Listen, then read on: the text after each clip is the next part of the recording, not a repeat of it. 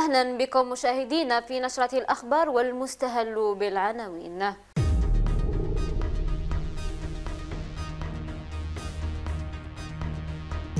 وزير الداخلية والجماعة المحلية والتهيئة العمرانية يشرف على تنصيب والي ولاية البيض. والي ولاية مستغانم يشرف على الاحتفال باليوم الوطني للإمام. ولاية بسكرة تحتفل باليوم الوطني للإمام. مشاريع هامة استفادت منها العديد من المؤسسات التربوية بولاية عين صالح تحسبا للدخول المدرسية. مديرية الشؤون الدينية والأوقاف بولاية المسيلة تحتفل باليوم الوطني للإمام. الملتقى الأول للدراسات القرآنية بولاية عامة. خرجة ميدانية لأعوان الرقابة والوقاية لمديرية التجارة بولاية قلبة عمال اتصالات الجزائر يتجندون من أجل إنجاح حملة تنظيف الشواطئ. مصالح الدرك الوطني بولاية المسيلة تتمكن من تفكيك شبكتين إجراميتين. فرقة والأمن والتحري بولاية بسكرة تحجز كمية من المخدرات وتوقف شخصين.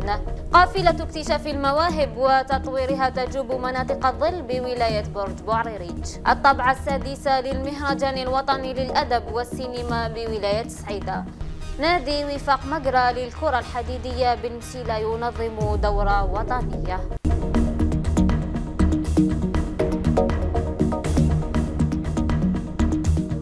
على إثر الحركة الجزئية للولاة والولاة المنتدبين التي أجراها رئيس الجمهورية عبد المجيد تبون أشرف وزير الداخلية والجماعة المحلية والتهيئة العمرانية إبراهيم راد على تنصيب نور الدين بالعريبي واليا لولاية البيض.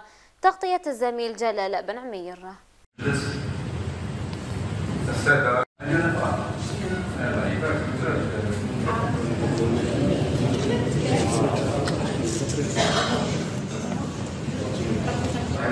السادة تعين على خدمتها على خدمة البلاد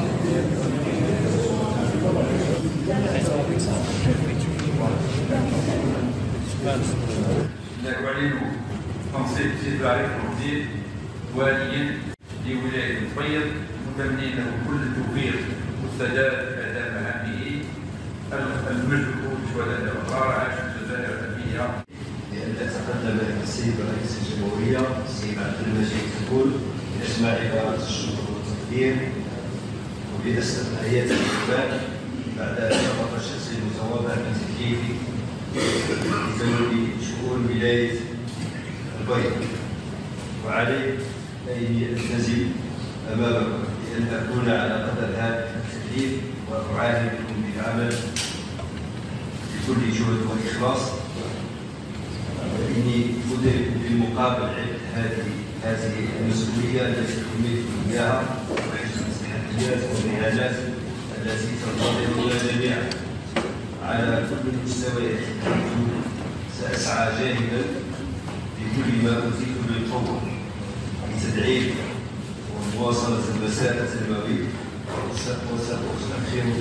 المناسبه تجربه متواضعه في خدمه ساكنه الولايه ولا دون شك بدء ذلك يوصل الرساله في ولايه معسكر الانبياء جزء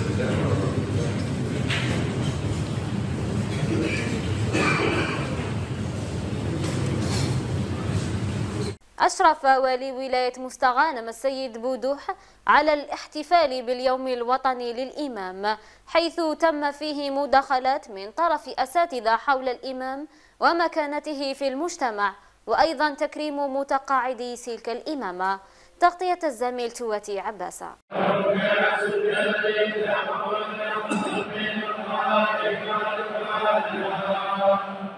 عن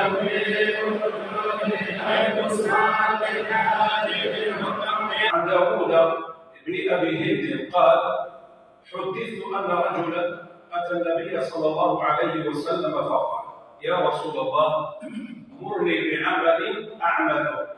ويصح أن نقول اعمل مرني بعمل أعمله.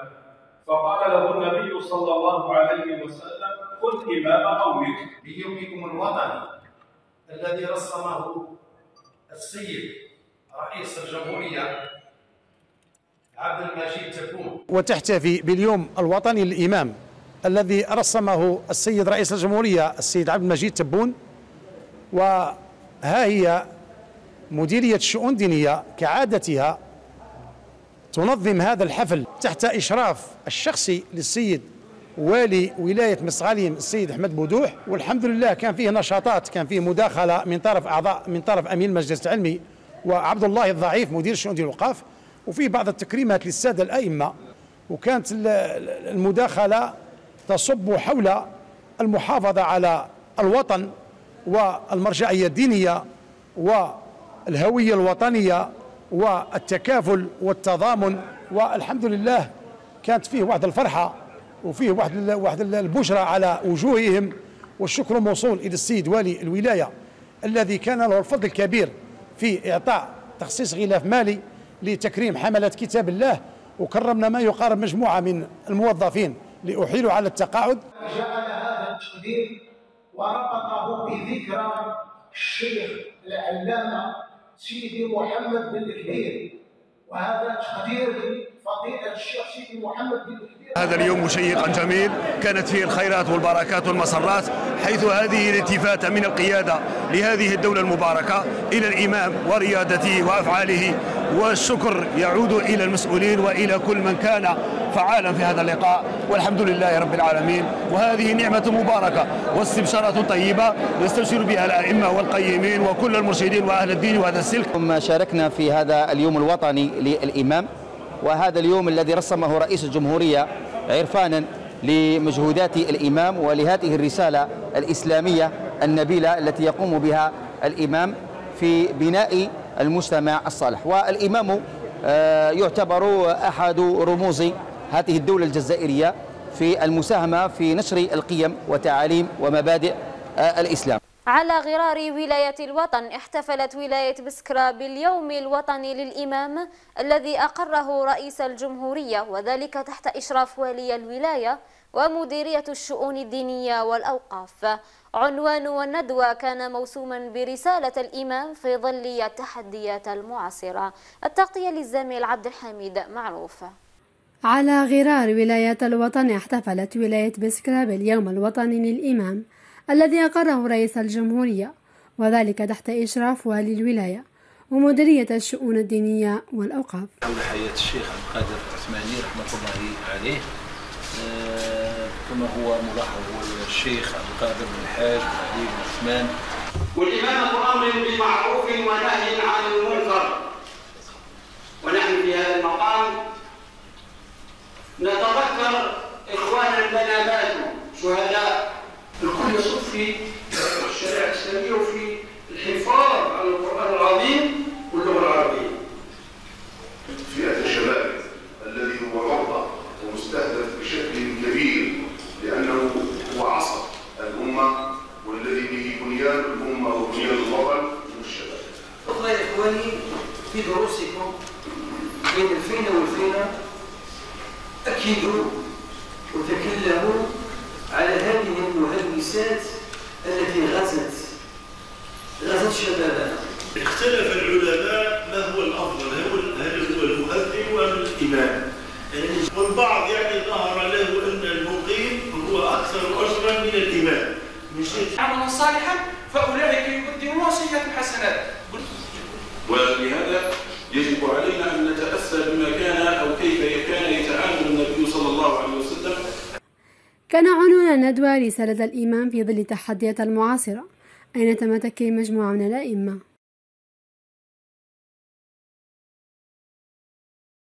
وسلم وبارك على سيدنا ونبينا وشفيعنا محمد. اللهم لا تجعل فينا ولا اللهم وفق أئمتنا لكل خير. اللهم ارشد الأئمة اللهم ارشد الأئمة. اللهم نور قلوبهم اللهم زكي نفوسهم احتفاء بهذا اليوم المبارك الأغر الذي أقره السيد رئيس الجمهورية حفظه الله ورعاه وهو اليوم الوطني للإمام. هذا اليوم هو تكريم للإمام واعتراف يعني بقيمة ومكانة الإمام الذي هو الإمام نتقدم بالشكر الجزيل للسيد أولا رئيس الجمهورية على ترسيخه هذا اليوم اليوم الخامس عشر من سبتمبر يوما وطنيا للإمام من كل مستوى المراكز الثقافية الإسلامية.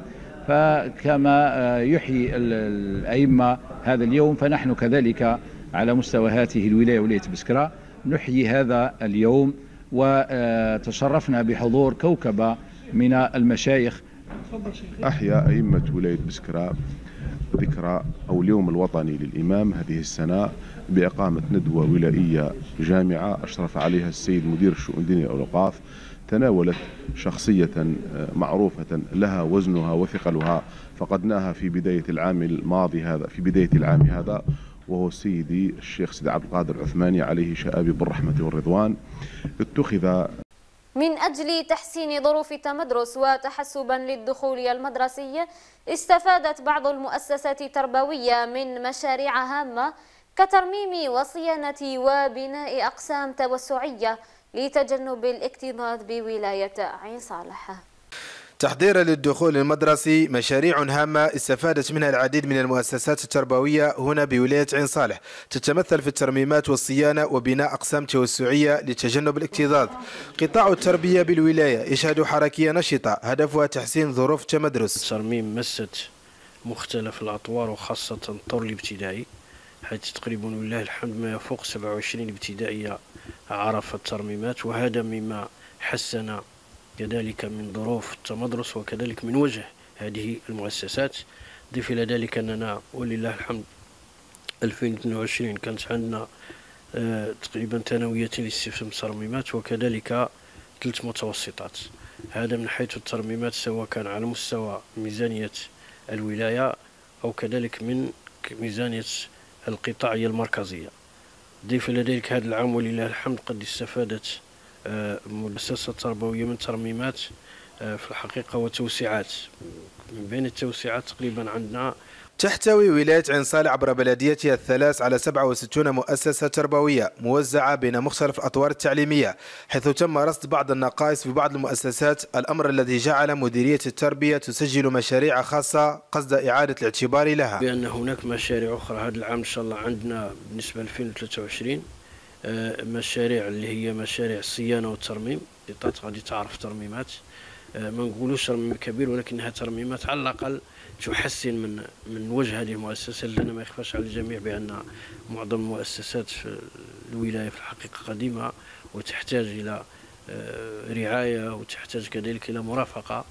نحن منذ تنصيبنا والحمد بالتنسيق مع السلطات المحلية والولائية والوطنية رحنا بدينا في عملية الترميم باش كل عام نحسن من وجه غادي إن شاء الله في يوم من نوصلوا إلى أن هذه المؤسسات تسترجع المكانة نتاعها وكأنها مؤسسات جديدة. مشاريع هامة هدفها الارتقاء بالمدرسة على مستوى الولاية. يذكر أن المؤسسات التربوية شهدت حملة نظافة واسعة بمشاركة الشركاء الاجتماعيين من أجل استقبال التلاميذ في ظروف حسنة.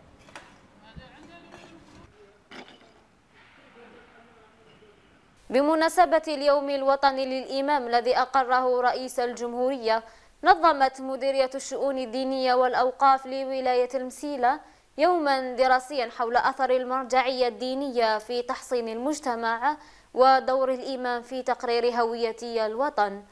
تفاصيل أكثر مع الزميل العويجي جلولة أرحب بالحضور الكريم المشارك في أشغال هذا اليوم الدراسي بعنوان أثر المرجعية الدينية الوطنية في تحسين المجتمع ودور الإمام في تعزيز الهوية الوطنية. وأعلن عن الافتتاح الرسمي لأشغال هذا اليوم الدراسي والسلام عليكم ورحمة الله تعالى وبركاته. بمناسبة إشرافي مع الوفد المرافق لي على الافتتاح اليوم الوطني للإمام الذي أقره السيد رئيس الجمهورية نتمنى من الجميع التوفيق في هذا الملتقى والذي يدخل في إطار المحافظة على المحافظة والتعريف على المرجعية الدينية من خلال المحاضرات القيمة التي ستلقى بمناسبة هذا اليوم. مرة أخرى شكرا للجميع. والسلام عليكم ورحمة الله تعالى وبركاته. انتظم هذا اليوم الدراسي بمناسبة الاحتفال باليوم الوطني للإمام. هذا اليوم الذي أقره السيد رئيس الجمهورية مشكورا مأجورا اعترافا منه واعتراف من الدولة بدور الإمام.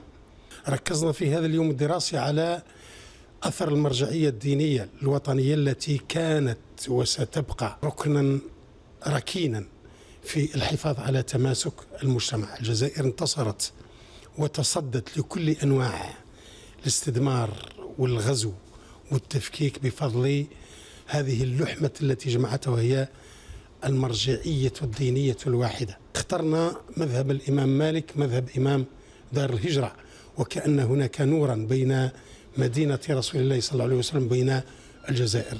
ترون أن هذه المرجعية كانت حصنا لهذه الأمة وصمام أمان والحمد لله كانت الجزائر وما تزال قلعة حصينة للإسلام وقلعة حصينة لسنة رسول الله صلى الله عليه وسلم وستكون بإذن الله قاطرة نتاع خير لجميع بلدان العالم الإسلامي. لا يخفى عليكم أن للإمام في هذا دور.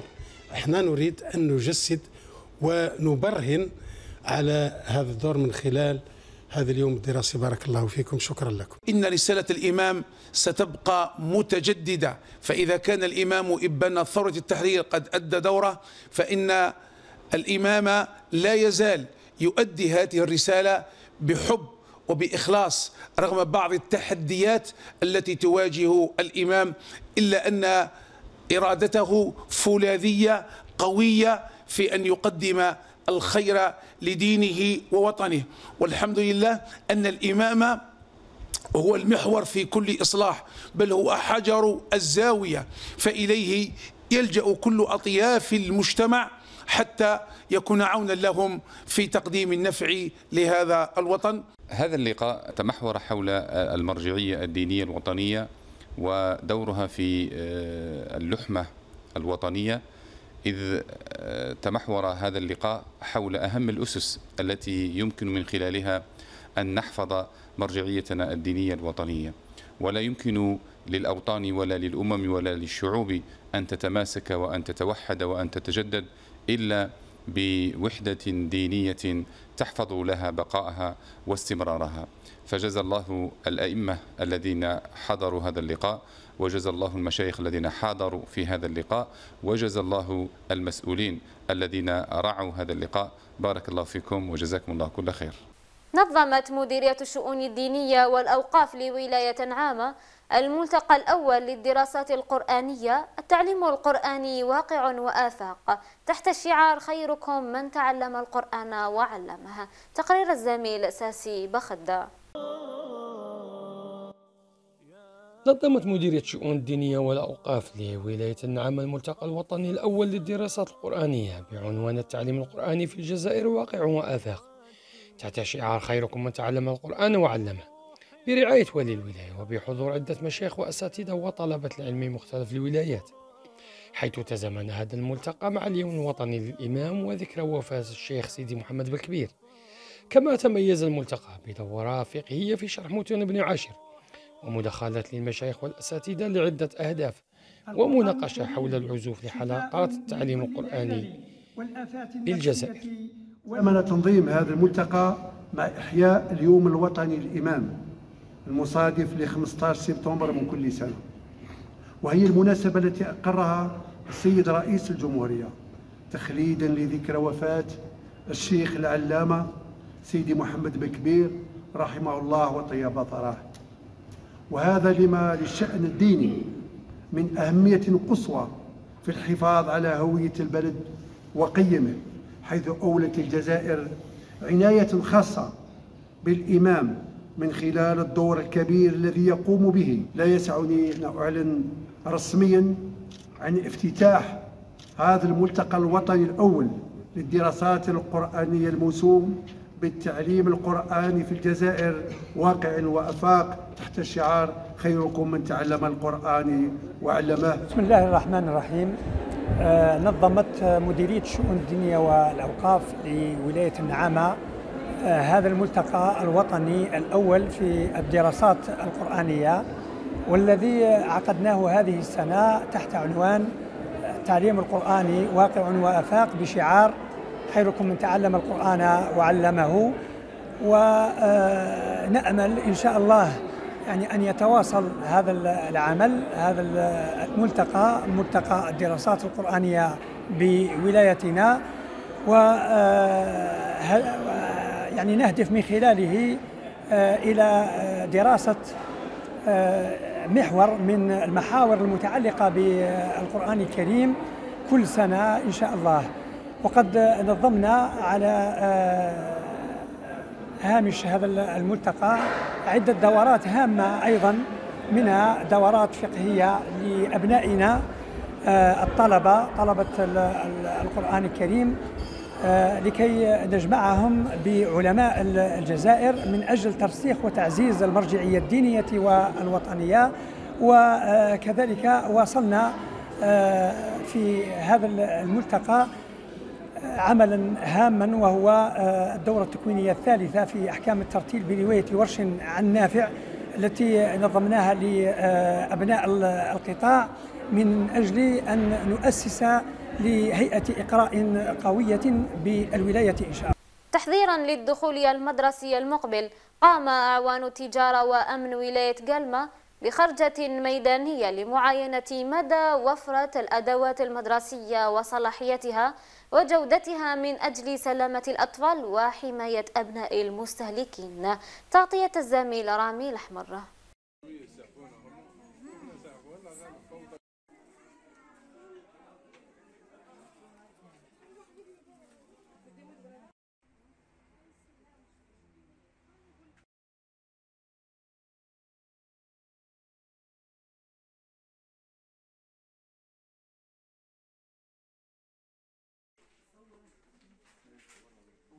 في إطار التحضيرات الجارية لدخول المدرسة سنه 2023 2024 آه، قمنا اوان الرقابة آه، لمديريه التجارة بولاية قالمة بعده خرجات ميدانية آه، للعديد من المكتبات من أجل الوقوف على عملية اقتناء الأدوات المدرسية من طرف المستهلكين حيث لاحظنا توفرها وتنوعها على مستوى السوق بأسعار تتوافق مع رغبة وقدرة الشاري.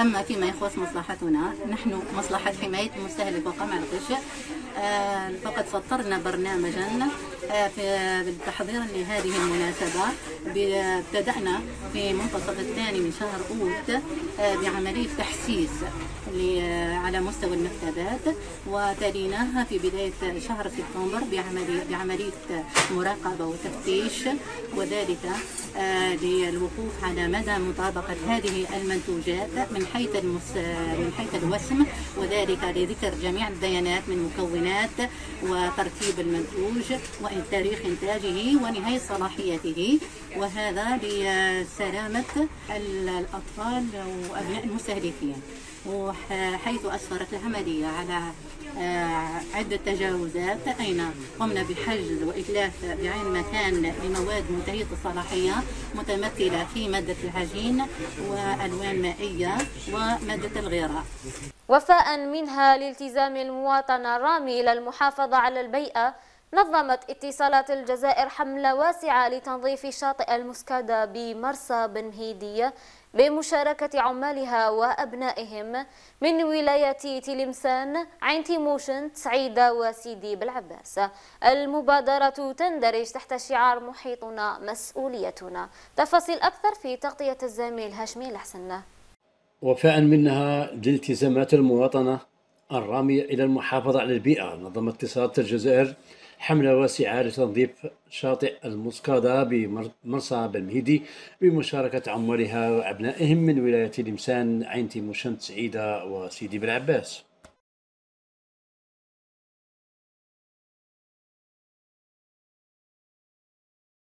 وتهدف هذه المبادرة التي تندرج تحت شعار محيطنا مسؤوليتنا إلى توعية وتحسيس المواطنين صغارا وكبارا حول تأثير النفايات الانفراء على الوسط الطبيعي ومدى أهمية المحافظة على الشريط الساحلي والثروة الطبيعية التي تزخر بها بلادنا. وقبل كل شيء أشكر الأسرة الإعلامية لولاية تلمسان وولاية المجاورة على غرار الأسرة الإعلامية لولاية سيدي بالعباس والأسرة الإعلامية لولاية عين على الحضور والمشاركة اللي شاركونا في هذا اليوم العظيم لاتصالات الجزائر خصته باش تبرهن وتبين مرة أخرى بأنها مؤسسة مواطنة يهمها كل ما يحيط بالمواطن سواء في مجال عملها في المجال التقني التكنولوجي فيما يخص الإنترنت أو في مجال المحيط والبيئة اللي هي كذلك في صلب اهتمامات اتصالات الجزائر. وهذا يدل آه، ما يدل عليه اليوم الحملة تاع اليوم اللي قام بها أفراد عائلة العائلة الكبيرة لاتصالات الجزائر بتلمسان بهم بأبنائهم بالعائلات تاعهم كذلك نشكر آه، الكشافة الإسلامية لولاية تلمسان على المشاركة وشاركتنا في هذا في هذا الحدث.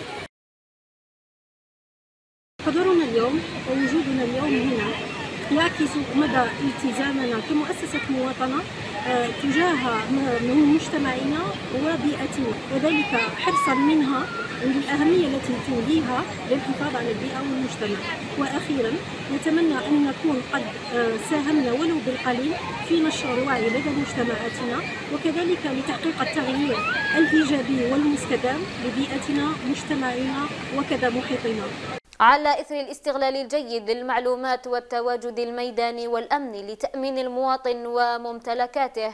تمكن أفراد المجموعة الإقليمية للدرك الوطني بمسيلة في عمليتين من تفكيك شبكتين إجراميتين تنشط في إقليم الاختصاص بكل من دائرتي بوسعادة وسيدي عيسى. مع حجز 23085 قرص مهلوس من نوع بريغابالين وتوقيف أربعة أشخاص مشتبه فيهم وحجز سيارة سياحية وسلة هواتف نقالة. تفاصيل أكثر مع الزميل العويجي جلول.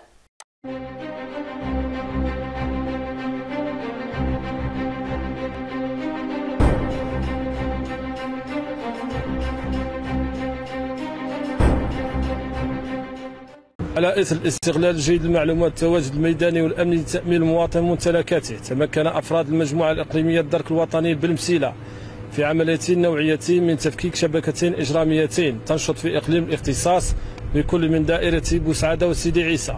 مع حجز 23085 قرص مهلوس نوع بريغابالين 300 ملغ مع توقيف أربعة أشخاص مشتبه فيهما وحجز سيارة سياحية وست هواتف نقالة.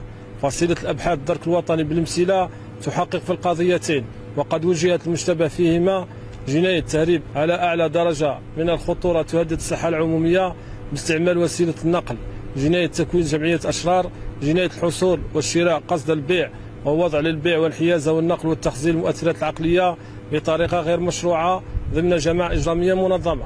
سيتم تقديم المشتبه فيهم أمام الجهات القضائية المختصة فور الانتهاء من التحقيق. نذكر السادة المواطنين بضرورة التبليغ والاتصال عن طريق الخط الأخضر المجاني 1055 أو على البوابة الإلكترونية www.ppgn.md تمكنت فرقة الأمن والتحري للدرك الوطني بخنقة سيدي ناجي بالتنسيق مع فصيلة الأبحاث للدرك الوطنية من حجز أكثر من 9300 قرص مهلوس من نوع بريغابالين وتوقيف شخصين من بينهم امرأة.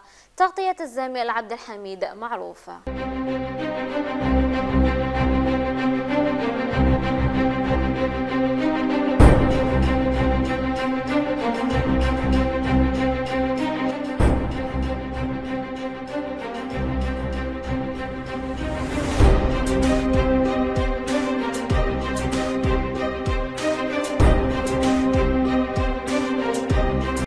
مواصلة للجهود الرامية للقضاء على شتى أنواع الإجرام خاصة منها المتاجرة بالمخدرات والأقراص المهلوسة. تمكن أفراد فرقة الأمن والتحري بخانقة سيدي ناجي بالتنسيق مع أفراد فصيلة الأبحاث للدرك الوطني بسكرة من حجز أكثر من 9300 قرص مهلوس نوع بريغابالين 300 ملغ وتوقيف شخصين مشتبه فيهما تتراوح أعمارهما ما بين 33 و 37 سنة من بينهما امرأة. العملية تمت بناء على معلومات واردة مفادها قيام أشخاص بتمرير كمية كبيرة من الأقراص المهلوسة من إحدى الولايات الجنوبية المجاورة. على إثرها تم وضع تشكيل محكم وغلق جميع المنافذ التي من المحتمل مرور هذه الشحنة عليها وتكثيف عمليات التفتيش للمركبات. ليتم على إثرها توقيف وتفتيش السيارة محل المعلومات أين تم العثور على كمية كبيرة من الأقراص المهلوسات كانت مخبأة بإحكام تحت المقاعد الأمامية للمركبة. ليتم على إثرها توقيف المشتبه فيهما واقتيادهما إلى مقر الفرقة لمواصلة التحقيق. افتتحت فعالية المشروع الوزاري الذي يحمل عنوان قافلة اكتشاف المواهب في المجال الثقافي وتطويرها. بولاية برج بوعريريج لتجوب مناطق الظل عبر إقليمي الولاية لاكتشاف المواهب وتنميتها. تقرير الزميلة نجمة حمنة. من تمويل مشاريع من طرف وزارة الشباب والرياضة المشروع الذي استفادت منه آه، جمعية رواد المستقبل لسنة 2023 الافتتاح الرسمي لفعاليات المشروع الوزاري الذي يحمل عنوان آه، قافلة اكتشاف المواهب وتطويرها بعنوان show time هذا المشروع كان بدعم من وزارة الشباب والرياضة وتحت الرعاية السامية لوالي ولاية برج بوعريريج وبإشراف من مديرية الشباب والرياضة. هذه القافلة ستنطلق لتجوب مناطق الظل لولاية برج باريريج هذه القافلة ستكتشف المواهب في المجال الثقافي مثل المسرح والموسيقى والإنشاد والرسم إلى آخره.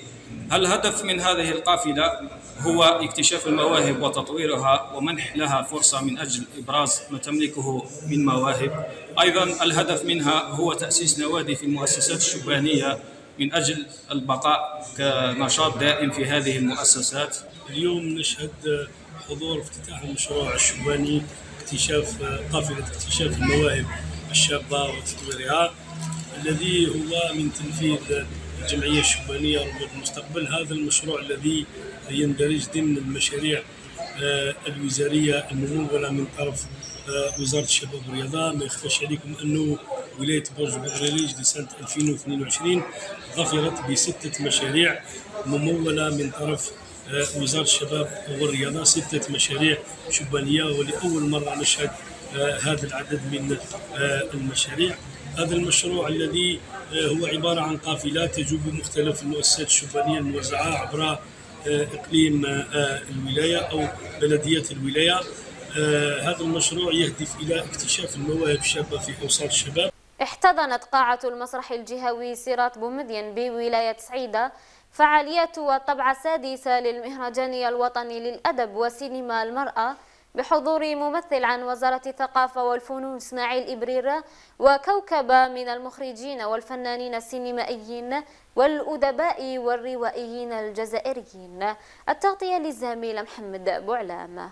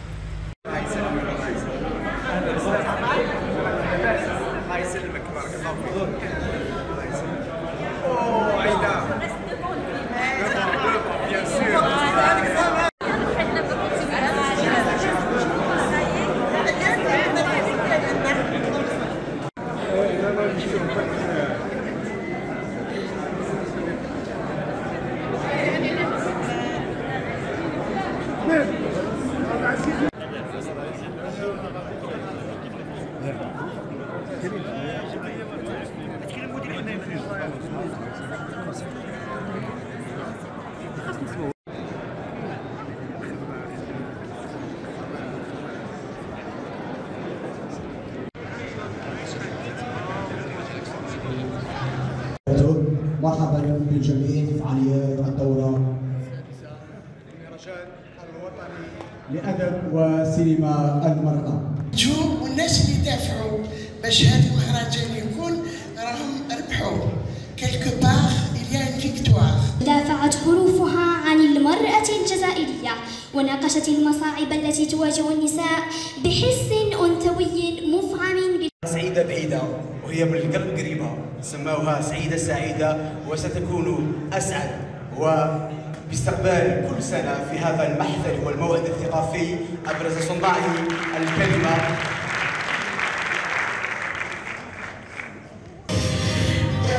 To high octane action that'll keep you on the edge of your seat. الماضي. فلم يكن من الغريب أن تنجب أسماء كبهلول عبد الكريم وبالقاسم حجاج وعيساوي جعفر ومخلوف عامر. آه، بمشاركة السلطات المحلية والأمنية وكذا الفنانين. وهذا المستوى تاع التنظيم وهذا المشاركة الأدبيين والسينمائيين اللي عندهم إن شاء الله يكون كاين احتكاك مع المجتمع السعيدي وإن شاء الله عندهم إن شاء الله يكون كاين احتكاك مليح باش ينمي الثقافة ويورث ويورث ثقافة محلية وجزائرية آه، في الوسط ال- في وسط ال- المواطنين. سينمائية من راست آه، بون، أول مرة نجي آه، أول مرة نجي لسعيده في هذا المهرجان. آه، الافتتاح آه، باين باللي مهرجان كبير ما شاء الله. آه، إن شاء الله نقضوا معكم أيام آه، مليحه مهرجان عطانا فرصة للقاء وللنقاش مع الفنانين مع الكتاب مع الروائيين وشكرا للمهرجان. أن أنقل إليكم تحيات السيدة الوزيرة الدكتورة سوريا مولوجي التي آه، آه، كانت تود أن تشارككم هذا ال- ال- المهرجان لكن بسبب التزامات حكومية آه، اعتذر الأمر. آه، هي تحييكم جميعا فردا فردا وخاصة المبدعين. تصر أن أحمل تحياتها إلى آه، أهل السينما والأدب. طبعا المهرجان الآن هو وطني. نظم نادي وفاق مقرة للكرة الحديدية ببلدية مقرة شرق عاصمة ولاية المسيلة. دورة وطنية في الكرة الحديدية في طبعتها الرابعة بالمركب الجواري الشهيد واضح حميدة تحت إشراف رئيس المجلس الشعبي البلدي. تفاصيل أكثر مع الزميل العويجي جلول. أعلن رسميا عن افتتاح الدورة الوطنية الرابعة في مدينة مقرة مرحبا بكم مرة أخرى. والفائز دائما هو الروح الرياضية والأخوة السائدة بين الجميع. نشكر الحضور ابتداء من المسؤولين ممثل الأمن الوطني وممثلي الحماية المدنية وأيضا مدير ومشرفي المركب الرياضي الجواري على الاستقبال. فنقول لهم حللتم أهلا ونزلتم سهلا فالجميع فائز في هذه الدورة وإن كان من فائز هو اللقاء والتعارف والأخوة في هذه الدورة الوطنية الرابعة التي تجمعنا هنا في هذا المركب الجواري. وبارك الله في الجميع والفائزون جميعا. شكرا لكم والسلام عليكم ورحمة الله تعالى وبركاته.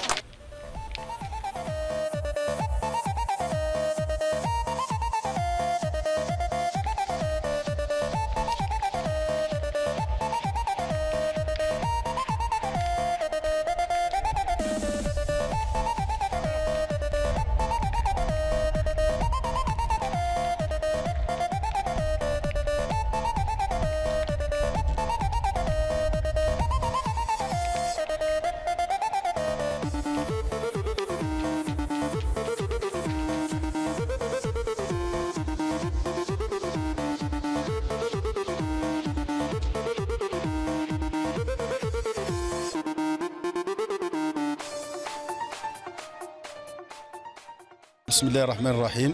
والصلاة والسلام على أشرف المرسلين. نحن الآن متواجدون بالمركب الجواري واضح حميدة بمقرة وهذا طبعا في إطار الدورة الوطنية الرابعة للكرة الحديدية بمدينة مقرة وهي آه، سنة تقليدية يعني الدورة الرابعة يعني كل سنة. آه، وهذا بمشاركة أكثر من 22 ولاية اليوم اللي جاونا من من جميع ولايات الوطن. وهذا طبعا للتنافس على المرتبة الأولى والثانية والثالثة في إطار الروح الرياضية وفي إطار الشعار اللي منظمه النادي واللي يقول كرات من حديد علاقات من ذهب. السلام عليكم. مرحبا بضيو- بضيوفنا الكرام في مقرة الطبعة الرابعة. و... ونشكر ال- اللاعبين الذين ونتمنى الفوز إلى إلى النادي نادي الاتحاد عين خضراء. نشكر آه، بلدية آه، مقرة على تنظيم الد- الطبعة الرابعة للكرة الحديدية تحت إشراف السيد رئيس بلدية مقرة وشعارها كرات من حديد وعلاقات من ذهب. نشكر سكان بلدية مقرة وكل المواطنين. إلى هنا مشاهدينا نصل إلى ختام النشرة. شكرا لكم.